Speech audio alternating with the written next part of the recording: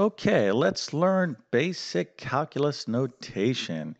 And here we have a calculus problem. And uh, the purpose of this video is to uh, just introduce some of the symbols and notation in calculus. It's really designed for someone who really maybe doesn't know any math at all maybe some of you are going to be taking calculus and just you know interested or some of you are just like you know i heard about calculus maybe i want to learn a little bit about it so really this uh, video is designed for everybody you don't have to be you know some math uh, whiz or anything else to kind of understand what i'm talking about but calculus is kind of this intriguing mathematics um, and it is uh, extremely powerful. And I'm, I do not want to minimize that we can just learn it one, two, three. But oftentimes uh, people get scared of mathematics because the symbols seem so strange, and it's like, wow, it's so mysterious. Like you know, I can never understand this. And the uh, kind of the point or the uh, my goal in this video is to kind of demystify some symbology in calculus to be like, oh, maybe that's not so bad, and maybe you know, might get motivated to want to learn a subject. I would say that would be great because calculus is truly a, uh, an amazing mathematics. It's uh, you know has solved so many huge problems. It's used everywhere, and I think um, as a math teacher, you always hear you know, when am I ever going to use this? When am I ever going to ever use this? Well, if you just think of all the technology that you're surrounded with and all the, uh, your just modern day, you know, a bridge that you might drove, drive over, uh, a building that you might see, all this engineering and technology. I mean, really, calculus is at the center of all that. So I think um, a lot of people, if anything else, you know, from this particular video, you, you really truly have to appreciate the impact mathematics uh, has in your modern day life, and probably nothing as is uh, as impactful as calculus. So we're going to talk about this uh, basic notation here in just one second. But first, let me quickly introduce myself. My name is John. I'm the founder of Tablet Class Math. I'm also a middle and high school math teacher, and over several years, I've constructed, I've constructed what I like to believe is one of the best online math help programs there is. Of course, I'll let you be the judge of that uh, statement. If you're interested, you can check out my math help program by following the link in the description of this video. But basically, I offer uh, 100 plus different math courses. How about the main courses uh, for middle and high school math, like pre algebra, algebra 1, geometry, algebra 2? I'm going to be launching pre calculus here uh, shortly, and that is obviously the course you need to take before you take calculus. Um, so if you're interested in that, check back about a month from uh, when I'm posting this video, and uh, my course sh- uh, should be launched. But I also do a lot in the area of test preparation, things like uh, for those of you who are studying for the GED, SAT, ACT, uh, GRE, GMAT, ASVAB, ALEKS, Accuplacer, uh, CLEP exam teacher certification, nursing entrance. There's a million different reasons why people study mathematics outside of a, a, formal math course. So if you're studying for any particular exam like that, go to my site, Again, you can find the link in the description of this video and check out my course catalog. I should have that. If I don't, drop me a line in my contact form to help you out the best I can. I also work a lot with independent learners uh, like homeschoolers. So if that's your situation, I have a great homeschool learning program. And then obviously help those of you who are just having a difficult time in your math class. But one thing you need to do if you are studying mathematics, eh, that is take great math notes. So over decades of teaching mathematics, one thing is apparent to me those students who take great math notes will be successful in mathematics. And those of you that don't take math notes are like, yeah, I don't want to do that. Just like me back in the 1980s. And I'm like, yeah, I don't want to do that. And guess what? My grades uh, suffered until I figured out that, you know what? Note taking that is uh, an absolute requirement. The better your notes are, the better your grades are going to be. But if you are um, uh, in a particular math class and you don't have good math notes right now, uh, you need to start working on that. But I offer uh, detailed, comprehensive math notes so you have something to study from to include pre-algebra, algebra 1, geometry, algebra 2, and trigonometry. Find links to those notes in the description of this video. All right, so let's get into calculus. And you know, it's funny because I, uh, when you're, you know, there's different movies that I've watched through the years, and they'll have some math. Uh, you know, uh, there might be some mathematics going on, whether it's a code breaker or some sort of, you know, thing, and you'll see some calculus. And you know, of course, as a math guy, I'm like, oh wow, look at that. You know, it looks so advanced and just, uh, you know, crazy stuff. But this is what calculus looks like. This is a pretty basic kind of calculus problem. And let's discuss this notation, okay? All right, now this calculus, what I'm talking about, um, this would be something that you would take as kind of an introductory calculus course. All right, so I have a graph going on here, and now let's just talk about these symbols. So the first symbol that might come to mind is this whole little long thing right here. That's is a kind of very common calculus symbol, this guy right here. And that's referred to as an elongated S. All right, so like S, like this, the, the letter S. Now, now, if we elongate that S, right, it's going to kind of look like that. So this is kind of what that is. And you can kind of think of this elongated S as part, or it's related to this word sum, okay, because that's basically what it means. right? this means we want to find the sum. We want to do what? Well, the sum is what? Add up. We want to add some things up. And that's what this symbol basically is stating. Hey, we want to add some things up. All right, we want to find the sum of what? Well, that's our next thing right here. Okay, now this uh, 3x squared, this is an example of what we call a function in mathematics. And this is kind of the uh, kind of general symbolo symbology or notation for a function. And what is a function, right? So this is a specific function, 3x squared. But if I wanted just to write a generic function, I would just say I have some function. I would just write this symbol. Okay, but what is a function? Well, a function is effectively a rule, okay, and it has an associated graph with it. So this function, 3x squared, okay, uh, for example, could be this uh, graph right here. Okay, this could be the graph of this particular function. So we'll just call this our function 3x squared. And uh, for those of you that might know some basic algebra, this is what we call a parabola. It's a U-shaped graph, and this is how we kind of uh, basically describe it. Okay, now uh, all you need to know is that 3x squared graphically looks like this. And this is just some basic algebra. It's not that difficult to graph these things. So what do we have so far? Well, we want to add up, okay, we want to uh, find the sum. We want to add up some stuff that is um, somehow related to this particular function or this particular graph, right? So that's where we're at so far in our nice little uh, calculus exploration. So the next question is, well, what do we want to add up? Okay, what are we trying to find the sum of? Well, that's where these little numbers right here are going to come into play. So we have 2 and 5. Well, these guys right here, 2 and 5, are going to be associated with this x-axis. Now, um, if you're not familiar with a basic xy axis, the way it works is this. This is 0 in the middle, and then this is 1, this is 2, this is 3, this is 4, this is 5, and you kind of get the idea. So this way, it's the negative values, negative 1, negative 2, negative 3, negative 4, negative 5, you get that. And then from right here on the y-axis, this is a positive 1, 2, 3, 4, 5. It just goes on and on and on. Negative 1, negative 2, negative 3, negative 4, negative 5.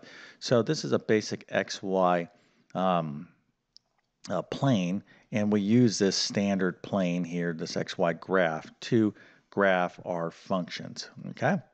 All right, so let's get back to uh, these guys right here, this 2 and 5. These are boundaries on the x-axis. So let's go to 2, okay, and let's go to 5. So that's 1, 2, 3, 4, 5. Okay, so what we're, um, let me move this over here because I'm going to have to draw or sketch here. So here's our function again.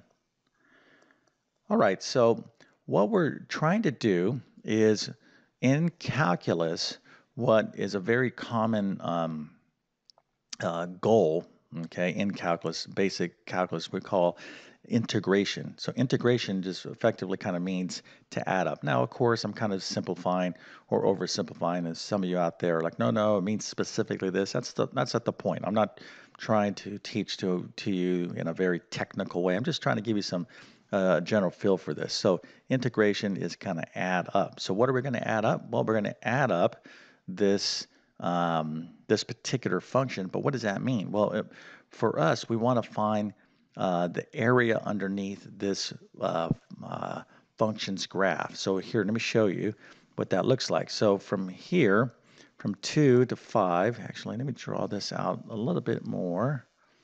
Okay, so because this graph continues on and on and on. Okay, all right, so from 2 to 5, all right, in calculus, what we want to uh, oftentimes when you're doing this type of problem, what we're trying to do is find the area, okay, underneath the curve, underneath a particular function's graph, okay, and it's kind of bounded from here. It's going to go under the graph, just like this. All right, so this is what we're talking about, like so. All right, so this particular um, uh, integration problem, that's what this is called, okay? We want to add up from 2 to 5 underneath the uh, functions graph 3x squared. That's what we're trying to do here, right? So this is kind of the main idea of this particular calculus problem. Now this little dx is um, uh, related to another topic, uh, very, very uh, hugely important topic in calculus called the derivative. But for now, you just need to know that that's a uh, a little notation that we write when we do this type of problem, okay? So that's all this means right here, all right? So we kind of not really focus in on it so much for the purposes of understanding this particular problem. Okay, so uh, what are we trying to do here? Well, we're, so far, we're, what we want to do is we want to um, find the sum, okay, or integrate. We want to add up um, underneath the curve between 2 and 5 of this function's graph. All right, that's basically it. If you're with me so far, then you are already doing outstanding. You're definitely showing uh, promise to take calculus. All right, so that's all this is so far. But let's go a step further. We're talking about adding up. All right, so you might be saying to yourself, well, add up what? Well, let me kind of explain to you what we're talking about.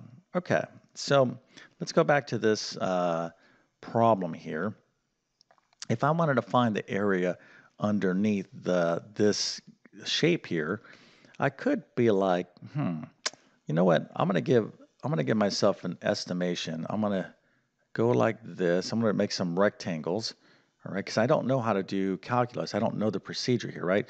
So um, I might just make myself some rough rectangles like this. And everyone knows how to find the area of a little rectangle. It's just the length times the width, right? So if this was 10 and my width was 2, the area of this little little strip here would just be 20, 20 units uh, squared, okay? So I could find uh, this um, area, and then I could find this area, and I could find this area, and let's put a little small one right there. I could find that area right there. Okay, so if I add up, right, if I find the sum of this guy, this guy, this guy, and this guy, all right, I'm going to have some basic idea of the area underneath this curve. right? so this is kind of where this is going. But that's just a basic, uh, you know, we're still missing, like, look at all the gaps we have here. So that's, you know, that's a pretty good idea, but how could we make our answer more precise?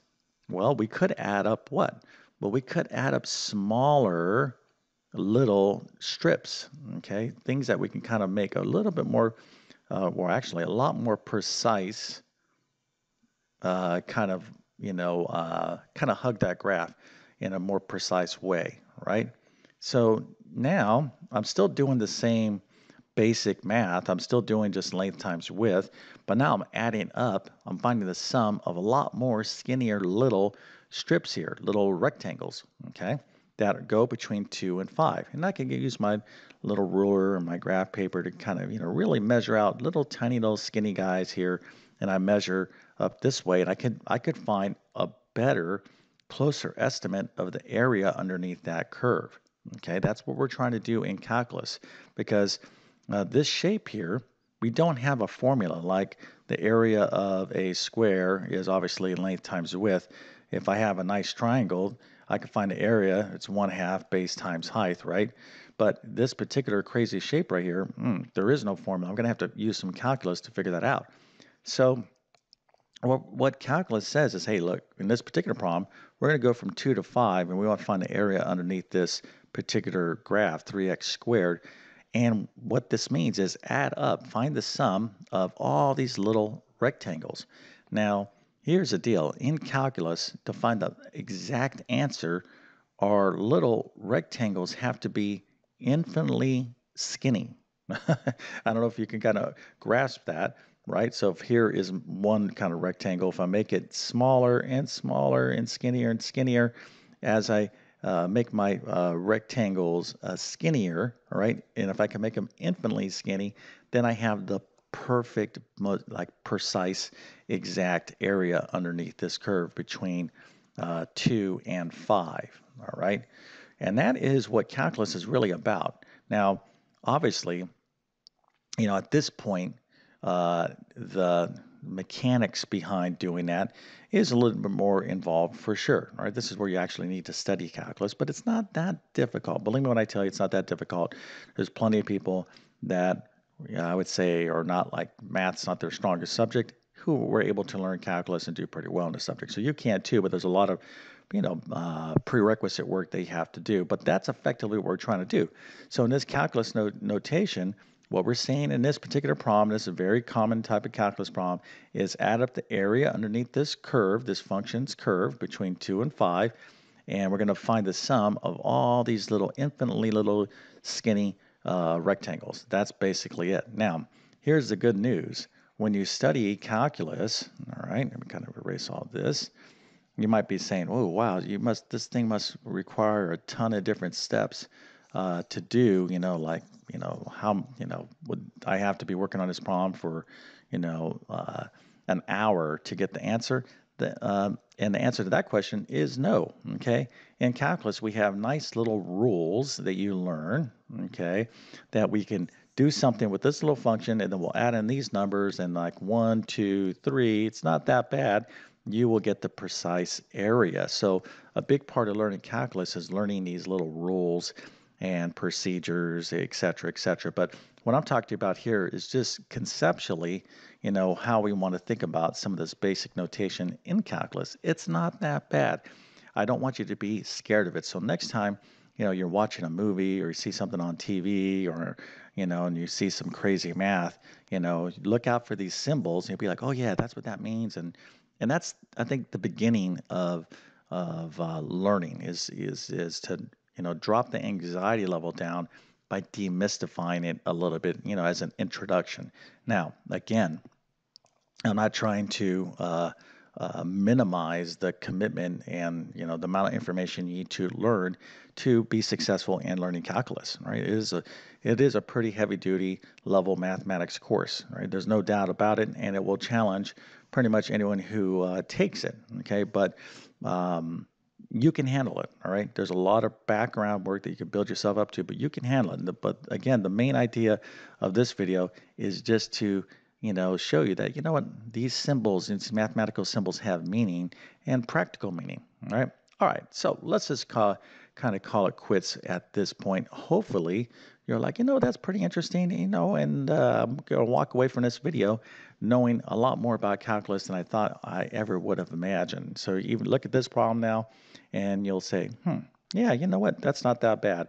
And if you do like a little Google search on calculus or just look at this notation, you'll, you know, I think you'll have a bet, much better feel for what the subject is about. Of course, I'm, you know, I'm leaving out a ton of other stuff, but what we talked about here is a huge part of calculus called integration. All right, so if you found this video interesting, if you liked it in some way, please consider smashing that like button. That definitely helps me out. And if you're new to my YouTube channel, please consider subscribing. Been on YouTube for a long time, 10 plus years. Um, doing videos. It's a great platform for someone like myself who's obsessed with teaching math in a clear and understandable way.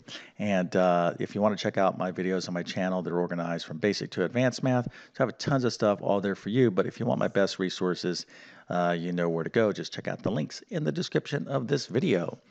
Okay, so with that being said, I definitely wish you all the best in your mathematics adventures. Thank you for your time and have a great day.